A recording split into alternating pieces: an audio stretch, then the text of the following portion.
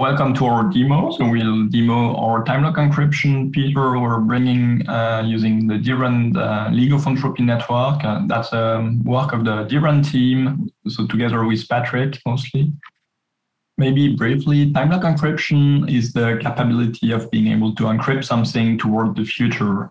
So the idea was initially submitted uh, in 1993 on a cypherpunk mailing list, and that um, at the time it was that the only way to achieve that was to rely on trusted third parties such as notaries, you know, to which you would give um, the encryption key, seal, and they would unseal it when the time has come. Um, since then, the, there has been a lot of research on the topic, but most of the um, solutions were either relying of proof on proof of work, a bit like Bitcoin and so on, or they needed something such as a trusted third party or a reference clock. And time lock encryption is really interesting because it can help reduce front running, mitigate MEV, and so on. It's also possible to encrypt your Bitcoin private key towards the future, let's say in two years, so that if you die, your um, you know your um, successors would be able to decrypt it in two years if they got the, the encryption. And if you're still alive you could just transfer the bitcoin to a new address and it's not lost you know. Our solution to achieve time lock encryption is to rely on the existing league of entropy DRAND network as a reference clock. So the DRAND um, network that is being run by the league of entropy is made of over 20 nodes or roughly 23 nodes currently run by 16 uh, unrelated parties, including big names such as Cloudflare, Ethereum Foundation, and so on. And um, the nice thing is that DRAND is building on top of, yeah, is building a threshold network, which we can trust. So here we can see how DRAND beacons are mapping to a given time. So each 30 seconds currently, um, the League of Entropy is issuing a new round, and this is you know, perf- perfectly deterministic. So we can say in five minutes, there will have been 10 rounds and so on. The security of the whole thing is relying on the BLS signature scheme, uh, which DRAND uses. And the nice thing with BLS is that it's a pairing-based uh, cryptography uh, crypto system, and that's compatible with identity-based encryption. And we use identity-based encryption to basically say, okay, we use the signature, the DRAND signature in the future as the secret key, and we use the message that is going to be signed in the future as the public key. So anybody knows the message is the round number, but you to know the secret key, you need to wait until the network um, issues the the signature for that round. And so we are building on top of that to achieve a time lock encryption. So we already have a Go client, uh, which is working, and a Go library. So the, the CLI tool, I, I think Patrick can demonstrate it now. Um, so yeah, as Yolan uh, alluded to, we've got a, a Go library, uh, a CLI with which we can encrypt and decrypt things for the future.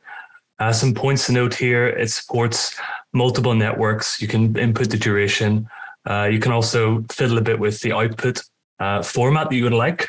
Um, so let's first take some plain text message that we'd like to encrypt. So uh, I guess hello protocol labs. Yeah, very simply, the default settings here will use the test net for DRAND uh, to encrypt for us. So let's encrypt our file here uh, and let's set a time, I suppose, of five seconds. We can decrypt it nice and easily in a moment. And our output file, we're going to put in the encrypted data, which I guess I'll show you that's nice and empty so no one thinks I'm cheating. Um, and let's input our uh, data text that we had a moment ago. After a brief second, we'll see now in encrypted data here, uh, we have a payload. Uh, we can also uh, turn that into armor, which um, some of you may recognize from some other schemes, such as PGP. If we are then to decrypt that as well with the CLI, it's also possible.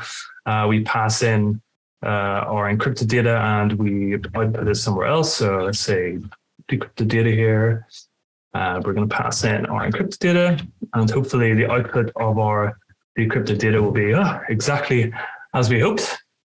Uh, additionally, hot off the press, in fact, finished earlier today, uh, we've also worked on a, um, a pure TypeScript implementation of time lock encryption. So now you can do this fully in browser as well.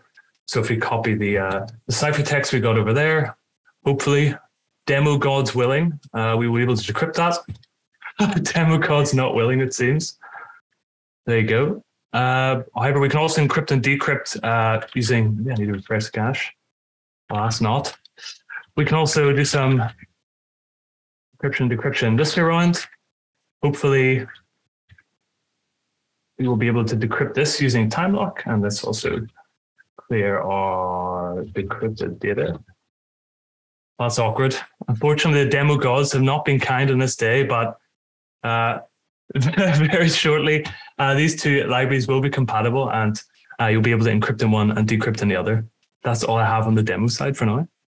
Yeah, and so the TLE tool is also compatible uh, with, uh, you know, it's just, just like PGP, so you can use it to pipe data into, uh, it's, it's supporting streaming interfaces, so you can pipe data into it, you can pipe it into other uh, commands and so on. So the, the it should be fairly easy to use. And behind the TLE um, command line tool, there is the TLOCK uh, library, which is um, a Go library that you can use in your projects and that allows you to achieve the same functionalities basically. Um, so the whole thing will be made public next week on the 12th of August for uh, DEF CON because we have a talk that was accepted there. So uh, by then, the UI uh, should have changed a bit. I can share my screen again. So by then, the, the UI should have changed a bit to look maybe more like that. And uh, the um, library, the JS library and the Go library will both be released. It's currently running on testnet, uh, on the DRAND testnet, but uh, we are planning to launch a new Unchained network for DRAND mainnet, uh, for the League of Entropy mainnet in September, mid-September. So starting mid-September, you should be able to use time lock encryption in a way that is secure because the testnet is like maybe three, four parties. So it's not super secure as a threshold network. The mainnet instead is a threshold of 13 over 23 nodes. So it's fairly secure. You need to compromise 13 nodes to be able to decrypt anything earlier, which is quite difficult to achieve in practice normally. That's it.